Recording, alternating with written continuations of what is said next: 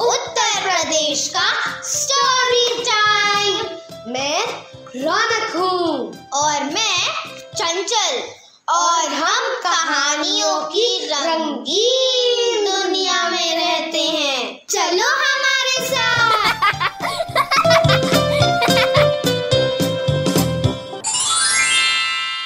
It was a fine morning of Sunday Octi the octopus was sitting with her children Patty and Ati. Mom आज Sunday है. Why don't we go for an outing yes mom please चलिए ना. Okay, okay, let's go. अपने eight hands में eighty और Patty को संभाल कर ऑक्टी निकल पड़ी सी की सैर पर. Just then Patty said mom look our sea world is so big Yes, my dear son, It is very vast and beautiful. Mom, Mom, see, Aunt Starfish is coming towards us. Hello, Starfy. How are you? I am good, dear Auntie. Hello, dear Aunt Starfy. Hello, children. Mom, Mom, run! Look, the seahorse is coming towards us. So, what if it is coming? Let it come. No, Ati वो attacking mood में है वो हमें hit कर सकता है जब attack करेगा then we will play some trick और हम बच जाएँगे Suddenly, the tail of the seahorse got entangled in the sea bushes. Seahorse की टेल सी bushes में फंस गई Remember what I had said? He did not hit us. No ऐसा नहीं है ये तो सी हॉर्स की टेल बुशेस में फंस गई थी इसीलिए उसने हमें हर्ट नहीं किया पर हमेशा ऐसा नहीं होगा Why, Aunt Staffy? Let's understand it through a story. The name of the story is Witty, Tricky, and Lucky. Yes! Once upon a time, three beautiful fish lived in this sea. Their names were Witty, Tricky, and Lucky. They loved to spend time together. हमेशा साथ साथ रहती थी खेलती थी और enjoy करती थी वो थी तो close friends but they were totally different from one another Oh, वो कैसे? वो ऐसे। विटी वॉज़ वेरी इंटेलिजेंट कोई भी प्रॉब्लम आने पर वह बहुत समझदारी से काम लेती थी। ट्रिकी थोड़ा क्लेवर थी। वो प्रॉब्लम्स आने पर उसको सॉल्व करने के लिए ट्रिक्स लगाती थी। जबकि लकी बहुत लेजी थी। She didn't want to do any kind of work हर काम वो भाग्य के भरोसे छोड़ देती थी। One day there was a party at clown fish home every one was so excited Vitty was getting ready for the party she had made beautiful jewellery with sea shells corals and pearls ready होकर के witty टिकी को लेने के लिए जाती है। Witty की सीप मूँगे और मोतियों से बनी ज्वेलरी देखकर ट्रिकी ने भी अपने लिए शाइनी सी प्लांट से झट से एक रोप बना लिया और उसे अपने नेक पर बाँध लिया विटी एंड ट्रिकी रेडी होकर के लकी को बुलाने के लिए जाते हैं come come, Lucky we are getting late. हमेशा की तरह लकी लेजी सी पड़ी होती है। विटी और ट्रिकी को देखकर उसे याद आता है। ओ even I have to go to the party what should I do just give me two minutes इस तरह वो तीनों पार्टी के लिए निकलते हैं। When they reached the party They all were overwhelmed with the grand welcome and arrangement made by the clownfish.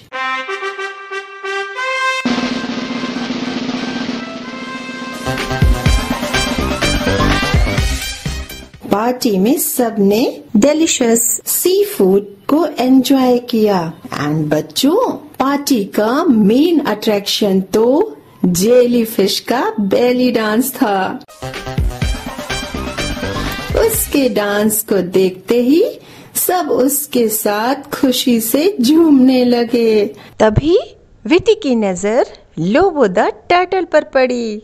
She rust towards him क्योंकि लोबो के पास फनी रिडल्स का खजाना जो था and Vitty was fond of solving the riddles वह एक के बाद एक लोगों की सारी रिडल्स सॉल्व करने लगे। रिडल सॉल्व करते करते कब रात हो गई?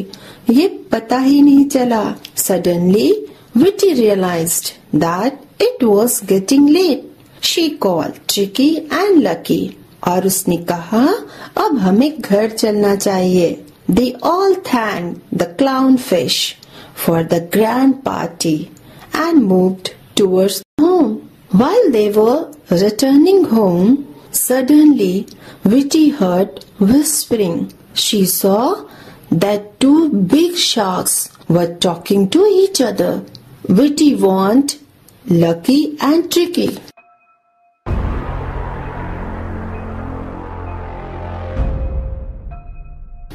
Stop stop वो देखो दो शार्क आपस में क्या बात कर रहे हैं चलो चलो उस रॉक के पीछे छिपकर उनकी बातें सुनते हैं। What they are talking about dear friend बहुत दिन हो गए हैं। हमने सॉफ्ट सॉफ्ट फ़िश भी नहीं खाई है।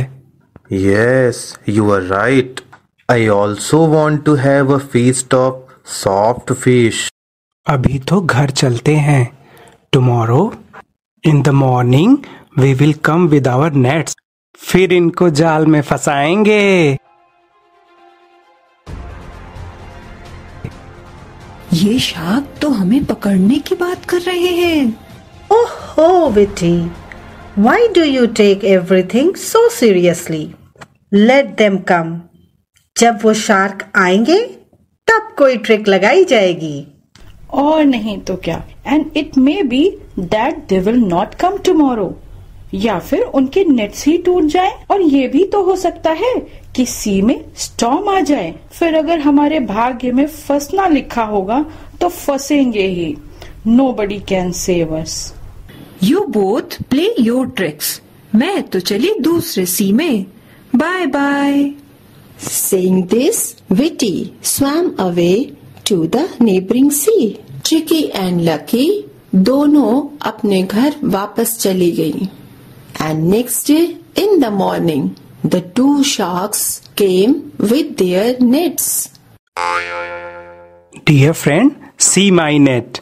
I have made it with lots of sea snails. It is so strong. Hmm, indeed.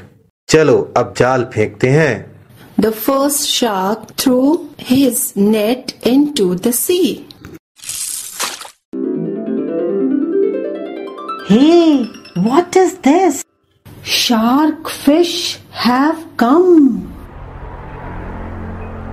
Now I have to think of a trick. Hey, hey, ये नेट तो मेरे ऊपर ही आ गिरा ओह माय गॉड मैं तो फंस गई अब क्या करूँ ऐसा करती हूँ मैं अपनी सांस रोक लेती हूँ I will hold my breath pull pull pull the net wow कितनी सारी फ़िश पकड़ में आ गई हैं। वॉट इज़ दिस इस फ़िश में तो कोई मूवमेंट ही नहीं है। ये तो हिलडुल भी नहीं रही है। It seems that it is dead शायद ये मर गई है। हम्म ये मेरे किस काम की? इसको वापस सी में फेंक देता हूँ। हा माई ट्रिक हैज़ वर्कड मैं बच गई चलो चुपचाप निकल लेती हूँ इस तरह अपना दिमाग लगाकर Tricky had saved herself. The second shark threw his net into the sea. Look look मेरे नेट में भी कितनी सारी फ़िश हैं गॉड, मैं तो इस नेट में फंस गई। अच्छा होता, मैंने विटी की बात मान ली होती। इस तरह, लकी अपने भाग्य के भरोसे बैठी रही और वह जाल में फंस गई। तो देखा बच्चों, हमें प्रॉब्लम के आने का वेट नहीं करना चाहिए। विटी की तरह, पहले ही प्लानिंग कर लेनी चाहिए। और अगर प्रॉब्लम आ ही जाती है तो ट्रिकी की तरह ट्रिक्स या दिमाग लगा करके उसका सॉल्यूशन ढूंढना चाहिए। बट लकी की तरह भाग्य के भरोसे आलस में नहीं रहना चाहिए। नाउ थिंक एंड डिस्कस कि अगर कोई प्रॉब्लम आती है तो उसे आप कैसे फेस करेंगे?